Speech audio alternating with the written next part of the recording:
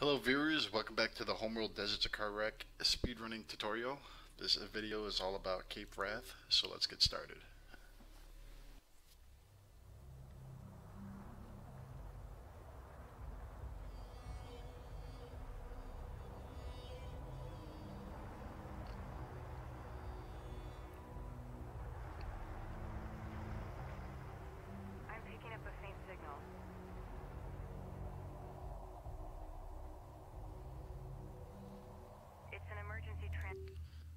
First thing we need to do, um, make sure you have all your LAVs grouped into one giant group.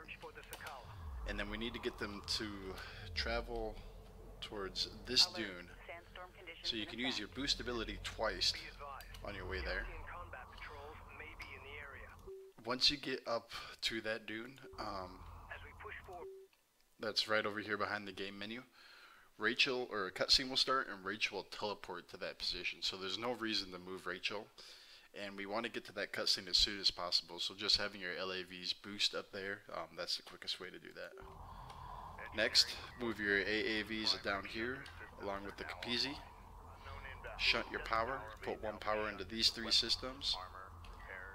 Move your salvages to about here along with your support cruiser. Then also build two more salvagers.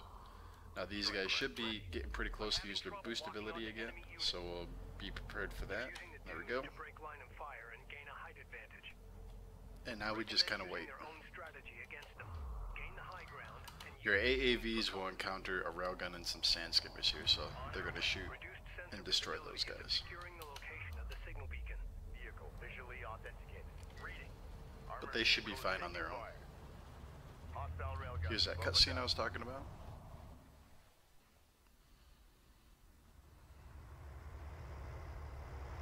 Intel, I've located the source of the signal. It's an abandoned coalition carrier. It's been here for a while. My team and I are heading inside. Delay salvage operations until we complete a search of the vessel. Copy that.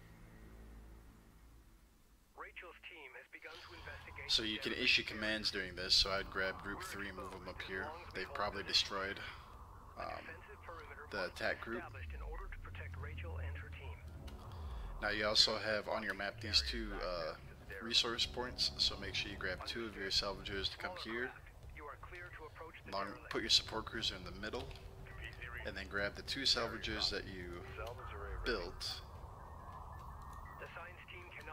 and get them on the other resource point, and then make sure you add these guys to your group. So we'll add those to group 9. Now we need to defend Rachel while she explores this uh, abandoned carrier. There's this really nice dune right here that we're going to plant our units on. Intel, I found an ID number inside the ship. Sierra Charlie 7208. Copy. Running it through the computer. Stand by. You can give them a hold command, and they will get height advantage and just focus on all enemies as they travel around here, and then they come up from here. Once these guys get there too, um, you'll have a pretty good phalanx there that'll just destroy anything. You can kind of you can see all these guys getting height advantage against this guy, and they just mow it down really, really quickly. Continuing search, Intel. We'll keep you advised. Valve strike craft down. The Gaalsien are using hit and run tactics. Focusing on their lighter units should cause their slower, heavier units to retreat. You will have to pull them off to attack these railguns though, and then just have them come right back up here.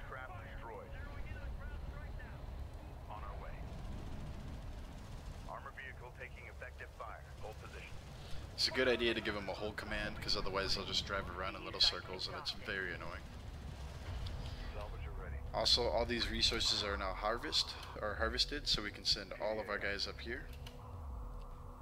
And then from the Kapisi, we need to build about five or six more um, LAVs. You're gonna give them a waypoint of about right here. Should be good enough. Reporting.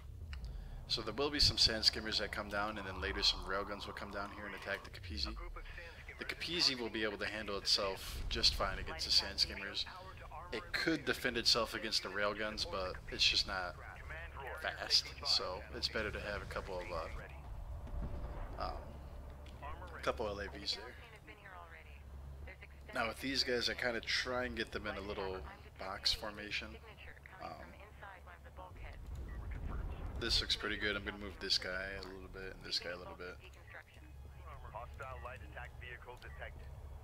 and then that should be good. They can just hold here, and then you'll have your LAVs um, travel down to shoot the railguns as they come through.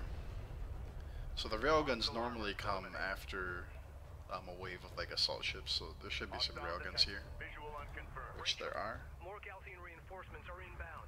Return to the Kapisi immediately. Effective fire. Negative intel. So mow these guys down very quickly Technology grafted into the carrier sensor array. and head back up here. While we extract this artifact from the bulkhead. So I give these guys group 8 To cover you. and You need to hurry. There should be like a group of two railguns that'll come down here very shortly.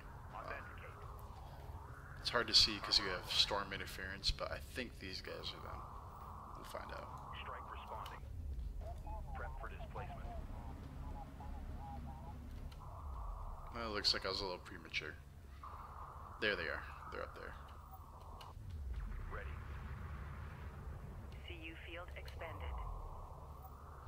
Other than that, you don't really need to build any more units. You can build, um, like I said, you can have six of these if you want. It doesn't really, uh, it doesn't make a huge difference. Move to intercept. Hold! Copy. Railgun target. Gaalsien ranged units engaging the Kapisi. Got eyes on them. Shunt power to the weapon range and damage systems to hold them off. Carrier is taking fire. Intel. And at that point, just have them defend the Kapisi and get healed up by the repair beams. The orbital fragments recovered 45 years ago, but this So now we need to take a look at this progress bar. Um, after a certain point, it's going to jump right up to about 87%, I think is what it is.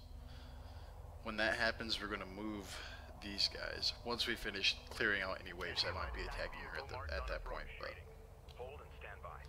um, it'll jump. And she'll normally say something like, I figured out the wiring, and then Light attack vehicle. Okay. I know what they're doing. I think I can merge it with our systems and greatly enhance our sensor capabilities. Now, a group of units is going to attack the Kapisi here. Just use your LAVs to destroy them. Along with the Kapisi. The Kapisi is going to be the most powerful ship in your fleet, so Alert. Carrier is taking fire. Armor vehicle taking effective fire. Rachel, what's your status? Strike. Intel, I figured out the wiring. Here they are. So have, um, we need to finish off these guys. I'm going to get my AAVs to start going. The next place we're going to do, we're going to use a shift to move them in a specific path, and we're going to move them to this little circle right here. Confirmed. She needs to go ahead.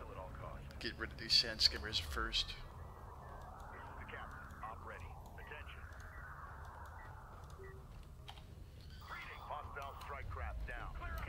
And these guys can do the same thing. up to that point. So we want them to go around the left side of this um, this Gaalsien Now these guys, we can go ahead and use our smoke screen ability. Uh, looks like we're about to lose one, which is fine. You can lose one. That's it's not a big deal. If he's taking too much damage for your liking, go ahead and smoke screen. But otherwise, your AAV should be able to tank um, the assault vehicles. You could do it to kind of help out your LAVs. Um, they will focus down your LAVs a little bit. Alert. LAV down. Armor, go ahead. But once that's done, you're going to want to get to this dune right here and just camp there, and then they should be able to focus down any of these assault ships that are still alive at that point. Um, and the next thing to do is just make sure you have that assault group destroyed before this reaches um, 100%. And that's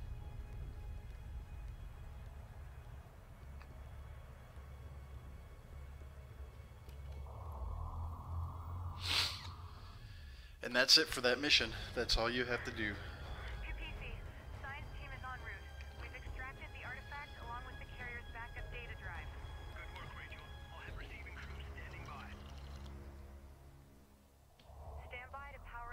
artifact. Initiating sensors modification now. efficiency has been greatly increased. and Here's a interference from the production cruiser that spawns. And you guys are waiting there to destroy it. Contact range increased. They should destroy it during this cutscene. Yep, there it now is. operational, we've detected a hostile cruiser supporting the enemy offensive. Engage and destroy the enemy cruiser. Holding. Resources are scattered throughout the area.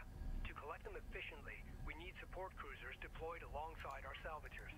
Destination. Kapisi fabrication facilities can now be upgraded to produce support cruisers.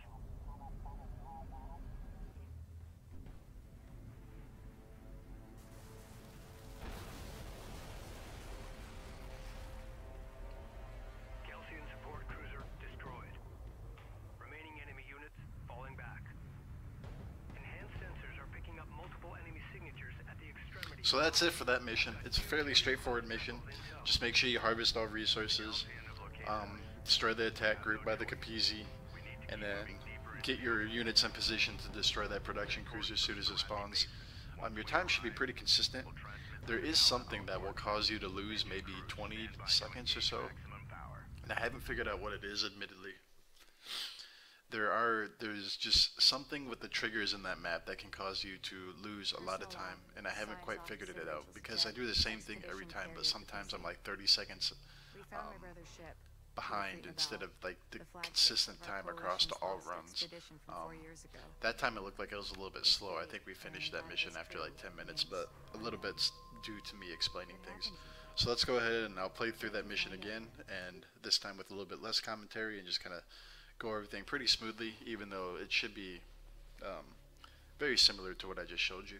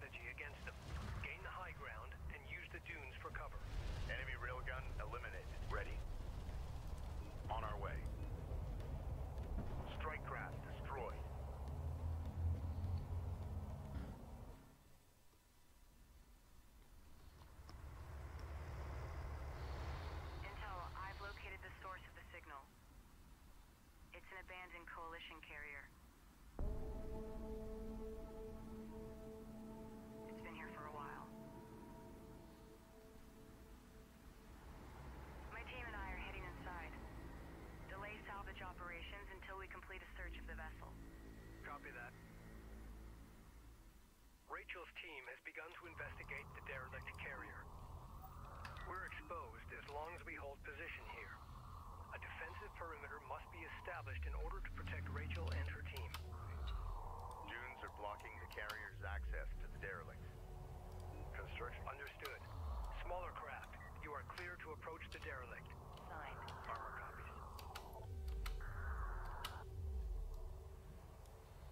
Armor movement. The science team cannot remain isolated at the derelict carrier.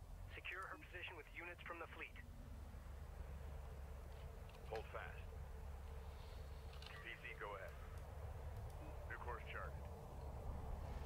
I didn't mention this the last time. you shouldn't have to build AAV um, fabrication until maybe uh, the end of Kalash Wreck or Belladid Dude, see if everything goes well.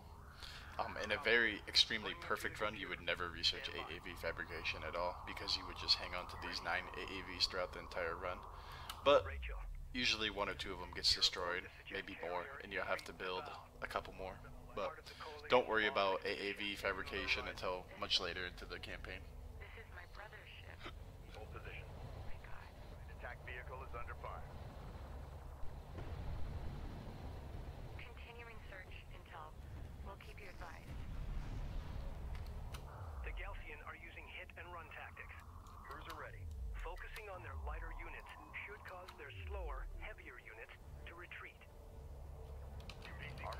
taking effective fire. Op ready. Railgun sighted. Alert. Friendly taking hostile fire. It's a straight shot. Go! Hostile range craft Light attack vehicle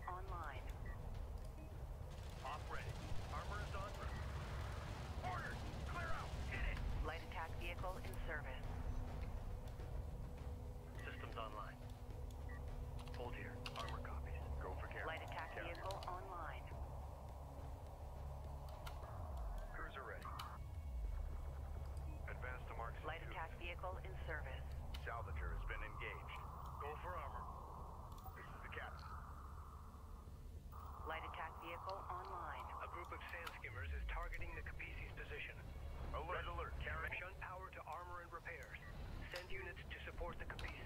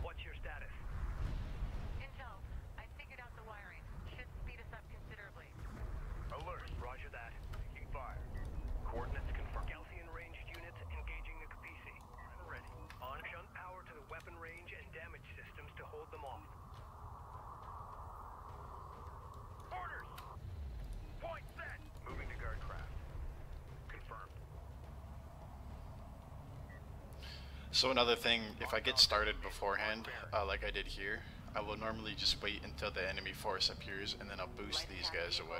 Just um, make sure they get out of there. Rachel, are bound to show up.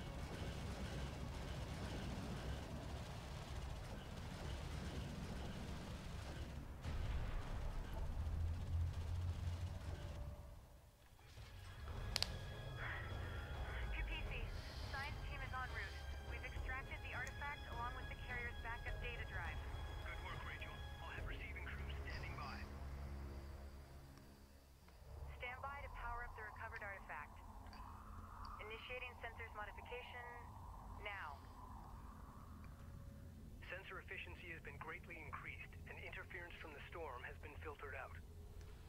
Excellent. Contact range increased.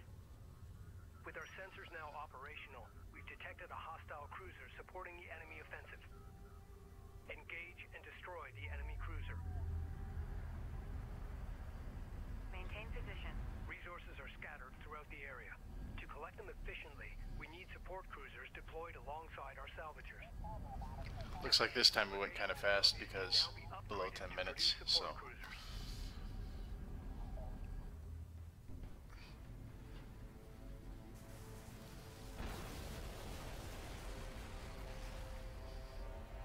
support support cruiser destroyed. Remaining enemy units falling back. Well, that's it for Cape Wrath. So the next mission, Kalash Site, that's where things get interesting. Um, so stay tuned for that episode. Uh, like likewise, uh, leave any sort of comments or questions below in the comment section. Um, I'll be happy to address any sort of concerns or questions we have down there. And I think that's it for Cape Wrath. Thank you all for watching. Stay tuned for the next video, which will go over Kalash Site. Take care, everybody.